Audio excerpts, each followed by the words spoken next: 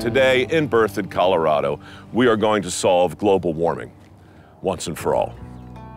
Yep, you heard me right. Biochar Now supplies a revolutionary form of fertilizer based on a highly absorbent form of charcoal that helps crops grow better and faster. Biochar Now began as an attempt to do something useful with tons and tons of wood that nobody wanted. Trees burned down by forest fires or killed by beetles, scrap lumber, and broken down cargo pallets. The crap, in other words. We're creating a special type of carbon that has special properties. Right now, we're the environmentalist favorite because everything we do is carbon negative.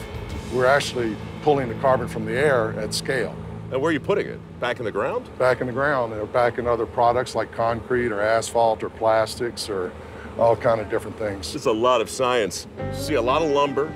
That lumber gets put in those kilns. Yes, sir. And those kilns burn real hot. It's actually a chemical reaction, so it's really not burning. That chemical reaction is called pyrolysis, which, according to Google, is the thermal decomposition of wood at elevated temperatures in a static atmosphere. In this case, that atmosphere is a kiln. Pyrolysis helps the environment by reducing waste, greenhouse gases, and water pollution. After pyrolysis, the contents of the kiln are dumped onto the hopper and onto a conveyor belt for inspection. We uh, sort through them, hand sort. We've had trash come through, metal, and there's pieces of raw wood in there. Only carbon you want going down the line. I didn't meet you guys. I'm Mike. Mike, nice to meet you. I'm Caleb. Mike, I'm Lane. Mike. Ben, Lane, and Caleb are removing any contaminants that would decrease the quality of the biochar. I'm just trying to keep up. Tell me again what I'm looking for. Anything that's not carbon. So like this doesn't look quite charred. Correct. That is wood. We toss that out. Toss it. Yep. Here's a rock, here's a rock. You only want carbon to go through the rest of the system and into the bags. So this is a good piece of carbon. It's burned all the way through. You can still see the rings in it. This is part of our dust collection system. Mm-hmm. I don't even know what the real term is. We call them the udders. The udders are literally bursting with superfine, highly flammable powder that falls through the conveyor belt I was working on earlier. The udders need to be milked. I'm getting that feeling I get sometimes. Can sometimes. we get his respirator? It's usually right before things get super, super dirty and people say things like, Can I get his respirator? The dirtiest I have ever left this property was when I emptied these. Oh, really? Mm-hmm. Now it's a new guy chore. The FNG. Yep, the FNG. You just unzipper? Yeah, unzipper if you can. Start scraping it out if you can.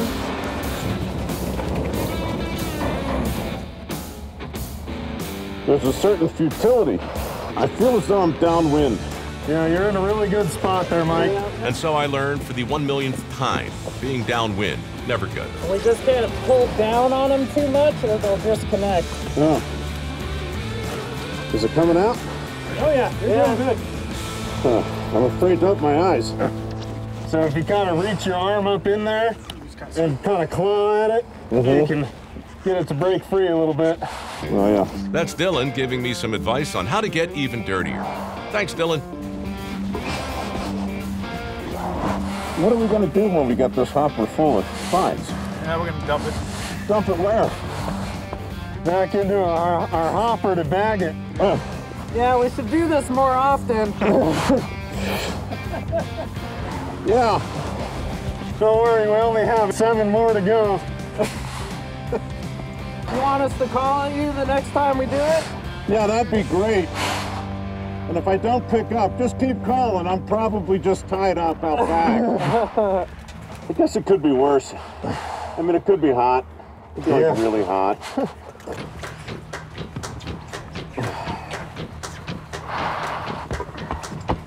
what I love most is that this could actually be making the world a lot clearer. Not at this exact Not moment, at, yeah, right, not right now. but maybe in the future. Oh, and the wind changed. Awesome. Yeah, perfect.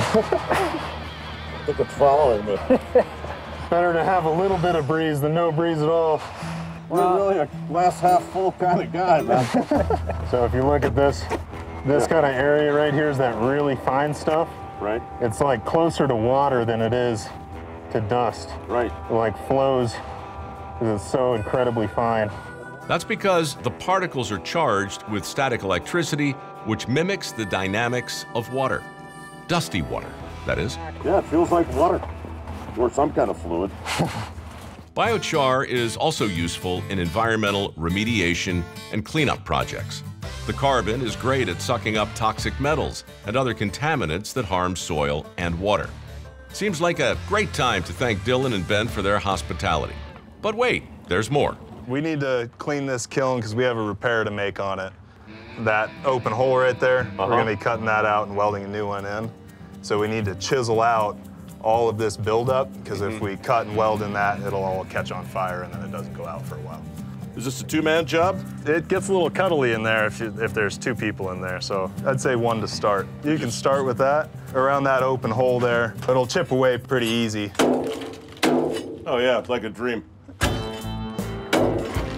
know, I might go ahead and take those glasses. I'm not a safety expert, but with tiny pieces of hot, sticky carbon flying through the air, I'm thinking safety glasses might really complement my outfit. Oh yeah, that's super sticky, isn't it? Yeah. This seems like uh, this would take hours. We now keep up with them pretty good. There was a time when this buildup got to about here and to the edge of those those open ports. Yeah. So it was about a cubic yard of material per kiln that we're chiseling out. I assume this just comes out. Yeah, just sweep it right out. We just scoop it all back up, put it into a, another kiln and burn it all off. Right. Return it to carbon. If the welding is only going to happen here, why am I cleaning the whole thing? Well, because we have you here. You know. We clean the whole thing because, like I was saying, this will just continue to build up. Yeah. Just th- hundreds and hundreds of burns. So it's a lot more manageable at this level. Normally, this is the moment when I'm told there's a better tool for the job. So you're talking about tools that were made for this purpose. We uh, fab up a little one like this. That's what I'm talking about. So you can you can try that. Oh, game changer. There are 100 of these kilns on site, and they fire up 20 on any given day, which means they are cleaning out at least one per day, which means the work is never done. This is one of those pivotal moments in the day where I have to decide, am I going to stand here with you and actually clean this thing top to bottom? Hmm. Or am am I going to look to the camera and suggest that we've, we've made our point in what I think is the dirtiest little corner of Colorado? It's entirely up to you, Mike. All right, well then I'm going to stay here until this thing's good enough to eat off of.